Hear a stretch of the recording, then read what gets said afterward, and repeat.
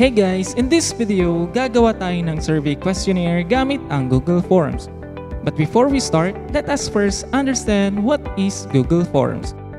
A Google Form is a form of questions which is created and filled in online. So dapat meron tayong internet kapag gagamitin natin si Google Form.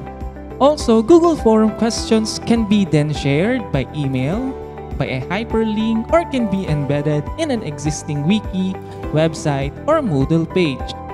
And yung mga responses to the questions are collated automatically on a spreadsheet and can be viewed in a number of format. Gamit si Google Form, mas mabilis na nating makuha lahat ng mga data na kinakailangan natin sa ginawa nating survey. So tara, umpisan na natin. First is mag-open tayo ng browser natin. And so make sure na nakalagin na yung ating account. And then click lang natin si Google Apps. At hanapin natin dito si Forms. Click natin si Forms. And so makikita natin may mga template dito na pwede na nating gamitin. Ayan. Pero mag-start a new form muna tayo. Click lang natin to. So ito yung interface ng ating uh, untitled form or yung clinic natin kanina na start a new form. Then sa upper, may makikita tayong forms home na kung saan pwede nating i-click ito para bumalik tayo dito sa ating in-edit na form. Next, meron tayong customized theme, preview, undo, tsaka redo. Ayan. So, pwede nating gamitin ito later on para makita nyo naman kung ano yung gamit nila. Then, pwede nating isend sa mga sasagot ng ating survey questionnaire na ginawa dito sa Google Forms.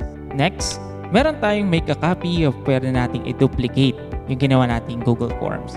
Move to trash para ma-delete natin. Get pre-filled link para makuha natin yung link at isend natin sa mga sasagot.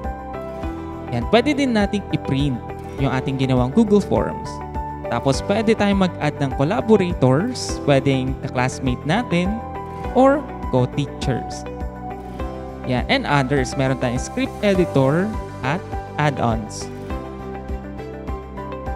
Yan, so make sure na meron na tayong nagawang uh, survey questionnaires para ang gagawin na lang natin is copy and paste.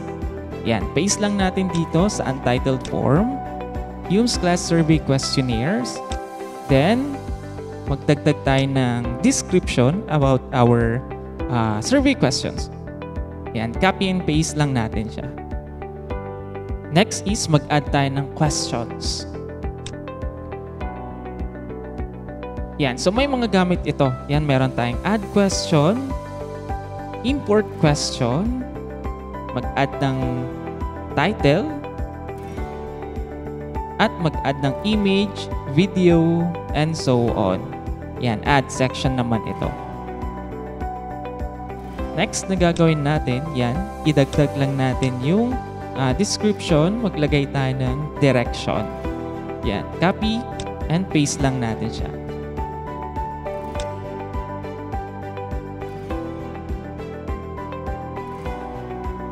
Yan, so mag-add tayo ng title. Yan, part 1, personal information. So, check natin. Ayan siya, personal information. So, type lang natin siya. Or pwede natin i-copy and paste. Then, mag-add tayo ng questions. But before that, meron tayo dito mga options. Meron tayong short answer, paragraph, multiple choice, check boxes, drop down, file upload, linear scale, multiple choice grid, checkbox grid, tsaka meron tayong date and time. Ayan. Next na gagawin natin, ayan, so copy and paste lang natin ito. Itong mga to. Full name, track and strand, grade, name of section. Yan. So, ilalagay lang natin sila. So, gagamit tayo ng short answer.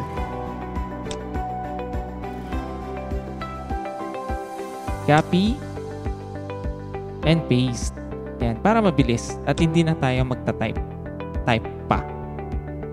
Yan, so pwede din natin siyang i-duplicate or i-delete kung mali yung nagawa natin or nai-add natin. Yan, so i-duplicate lang natin kasi same lang naman sila. Copy and paste. Dito sa track and strand, so pwede tayong gumamit ng uh, drop down. Ayan, kasi may mga options tayo kung ano ba yung mga track and strand na pwede nating piliin. Ayan, so ilagay natin dito si ABM, Arts and Design,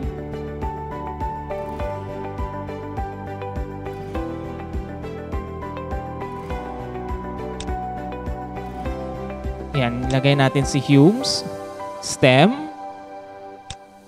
at TVL. Yan. So, yan yung mga options na pwede nating uh, ilagay. Yun lamang yung pipiliin ng user kung sino yung magsa-survey. Yan. So, preview natin siya. Yan yung gamit ng preview. Yan. So, ito yung preview ng ating Humes Class Survey Questions. And so, meron tayong personal information, full name, track and strand, yan yung pwedeng piliin. And so, balik lang tayo doon sa ating untitled form para magawa ulit natin at madagdagan natin.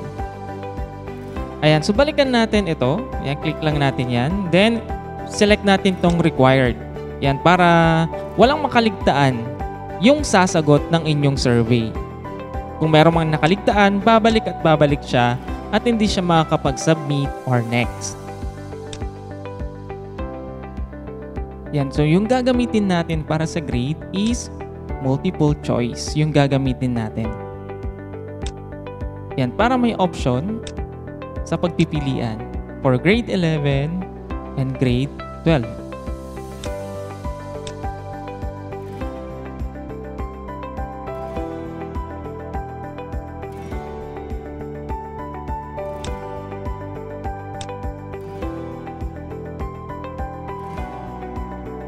Next, yung name of section.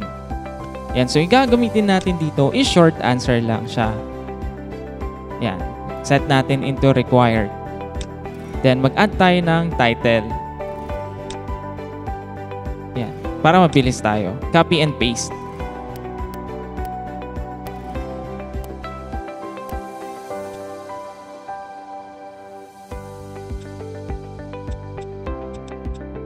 Ayan, so preview natin yung na-add natin kanina. Ayan. Refresh lang natin. Ayan, so ito na yung mga na-input natin, na idagdag natin.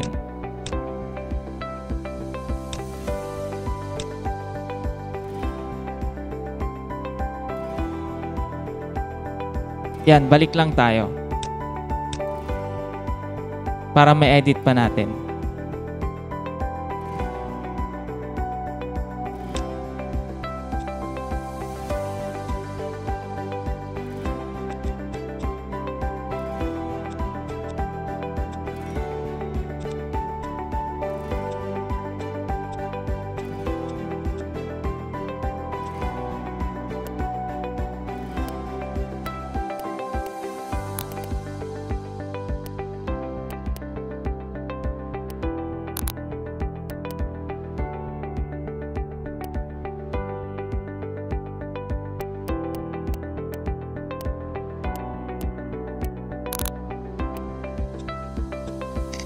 Next, for this question number 7 and number 8 is same sila ng choices. Yes and no. Ayan, so yung ginamit ko dito is multiple choice grid. Kaya pwede nating pagsamahin yung mga questions ng number 7 at number 8.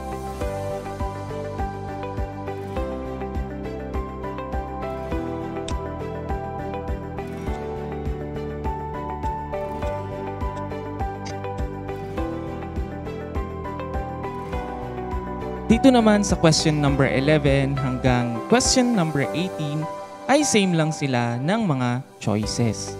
Kaya yung gagamitin ko ulit dito is multiple choice grid.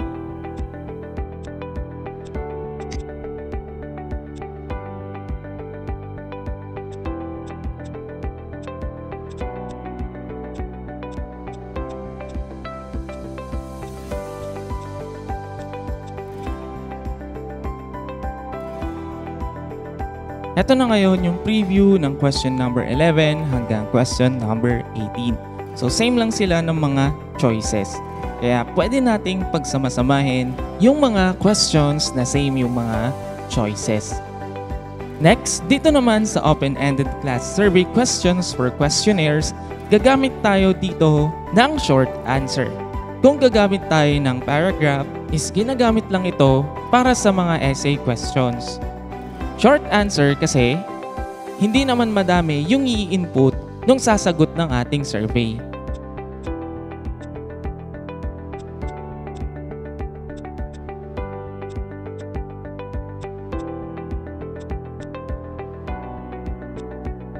Heto na ngayon yung preview ng ating survey questions. Kung mapapansin ninyo, nasa iisang section lang or isang page lang ng form yung sasagot ng ating survey.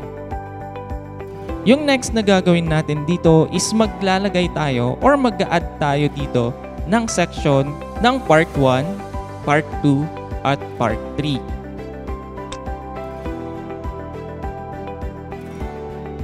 Select lang natin tong section na to and then add section. Yan, so meron na tayong nagawang section. 2 of 2 na siya. And so, pwede nating i-drag and drop. Pwedeng pataas or pababa. Para maayos natin.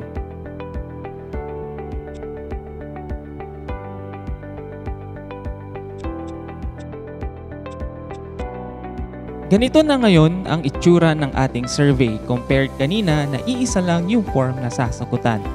Nagkaroon na ng next button compared din kanina na submit button lang. Ang ginamit natin dito is add section. Add section para maihiwalay natin yung part 1, 2, at 3 ng ating survey.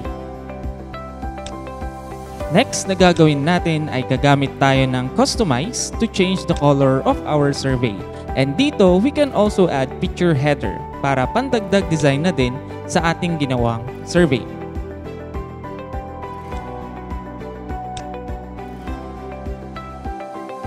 Here's now the new look of our survey. Next, we can see here the tabs including questions na ginamit natin kanina. Then, responses at settings. Sa responses, we can see here the number of respondents na nag-respond or sumagot sa ating survey. Dito sa accepting response, pwede nating enable kung ipapasagot na natin. Pag hindi naman, we can disable it. We can also use this create spreadsheet right after masagutan yung survey natin. We can use this to view who are the respondents and also their answers. Dito naman sa three dotted, we can see here the get email notification for new responses, select response destination, and download responses. Next, punta naman tayo sa settings tab. Here in settings, we can set kung ano yung gusto nating mangyari sa ating survey gamit si Google Forms. Sa responses, pwede nating iset if we like to collect the email address who respond to the survey. Pwede din tayong mag-send ng copy sa mga respondent natin. In limit response, it is very useful para malimitahan lang yung sasagot sa ating survey at hindi na sila pwedeng umulit na magsagot. Pwede din nating gawing default in collecting email addresses.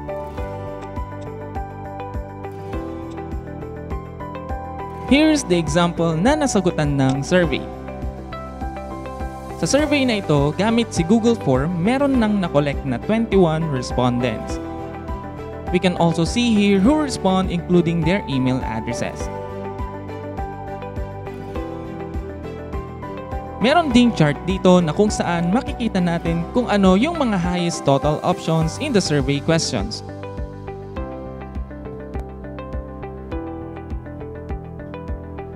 Let us try to answer yung ginawa nating survey.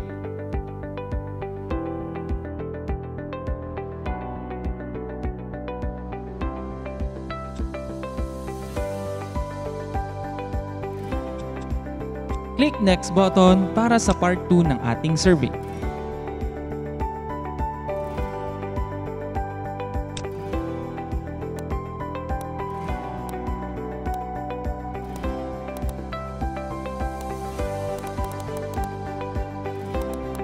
Click next button para sa part 3.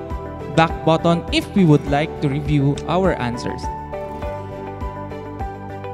Here in part 3, try nating wag sagutan yung isa.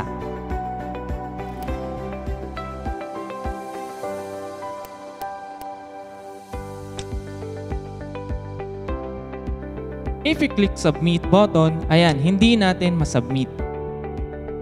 Just because, naset natin lahat kanina into required. Lagyan natin ng sagot. Then click ulit natin si submit button. Yan. If you reach this page, sabi dito, your response has been recorded. Meaning to say, tapos na tayong sumagot sa survey.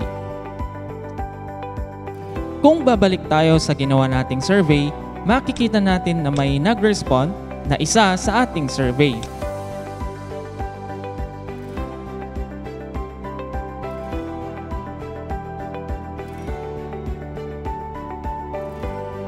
Pwede na nating i-reset ulit or i-delete yung isang respondent na na-record para ma-send na natin sa mga sasagot sa ating survey.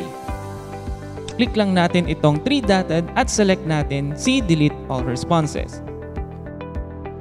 Then may lalabas na confirmation message if we are sure to delete all responses. If we sure, click OK.